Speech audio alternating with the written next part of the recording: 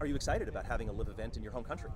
Absolutely. Um, yeah, the, the boys have been looking forward to it now for you know five or six months. Um, I know the prep down there is going pretty good, and um, I'm just happy to bring LIV Golf to, to Australia. I think the uh, the Australian fans will really love it.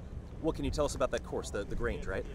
Uh, I haven't. I actually haven't played the Grange before. I've played a lot around Adelaide. Uh, never made it out to the Grange. Heard lots of good things. Um, I know it'll be kind of our first kind of party hole experience. So, um, and you know, to be honest, I couldn't really think of a better place to have it than, than in Australia. There's, the crowds uh, get pretty rowdy and uh, and pretty loud, so it'll be awesome.